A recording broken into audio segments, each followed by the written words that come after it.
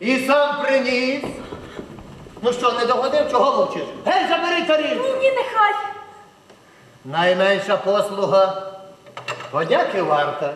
У театрі прем'єру спеціально підготували до професійного свята. Це такий невеличкий е, творчий е, крок для театру, тому що е, за 88 сезонів існування Хмельницького театру комедія Шекспіра взагалі ніколи не ставилась. Тому ми, в принципі, вирішили двічі ставились трагедії Шекспіра, а комедія ніколи не ставилась. І, власне кажучи, ми приурочили цю комедію до Дня театру. У головних ролях хмельницької прем'єри прибуркані Норовливої Наталя Дяченко та Василь Шпунт. Я по своїй природі зовсім інша, а тут така вона досить жорстока. е, Як для того часу, враховуючи, що жінки не мали взагалі своєї думки і не мали права її висловлювати, то тут вона така е, говорить все, що вона думає, і все, що вона хоче, не дивлячись, чи це батько, чи це будь-який чоловік.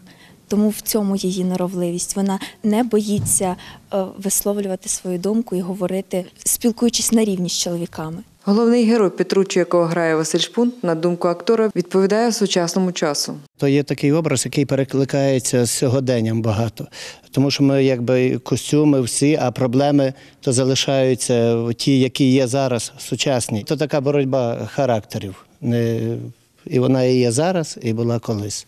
У всіх любовних перипетіях найбільше дістається Сузі Петруччо, Грумію. Йому дістається дійсно найбільше із всіх, не дивлячись на те, що з Петруччо у них досить дружні відносини, не дивлячись, що він слуга.